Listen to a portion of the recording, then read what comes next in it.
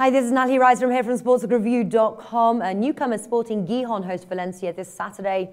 Uh, both teams have two draws under their belt so far this season, but as Gijon have the home advantage, could the promoted team be in for their first win?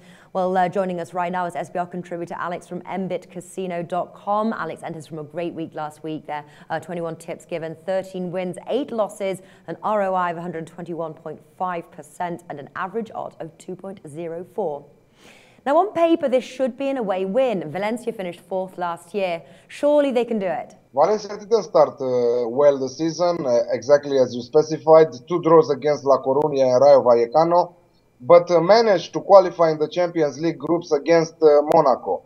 I think that after uh, these two weeks of break for the qualifiers of uh, Euro 2016, Valencia will improve their football and they will prove their force. Because let's be realistic that uh, Gijon is not arriving at uh, their level, even though they did manage to draw 0-0 uh, in the first match against Real Madrid. I think that Valencia will prove their quality and win uh, this one, even if uh, it will be at one goal difference. Exactly. And Natalie Valencia's odds there not bad. 2.4 BetVictor. I think there's a quite great odds there. Uh, draw 3.2, Bet365. And then uh, Sporting Gijon at 3.3, Bet365.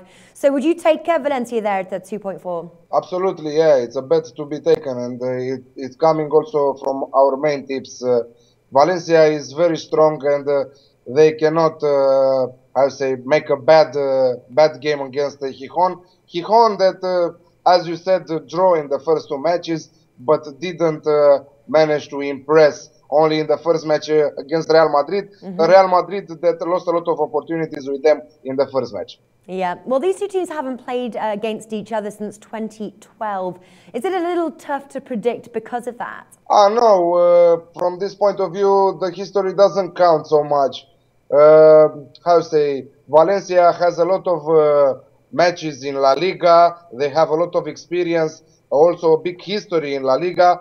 Sporting Gijon is a newly promoted team. Uh, I think that for them it will be the pressure, not for Valencia. Mm-hmm. Okay, then. So, uh, which leaves us to what are your uh, what are your tips here, Alex? My second tip is uh, Valencia to score over 1.5 goals in the match, priced at 2.37 with the Bet365.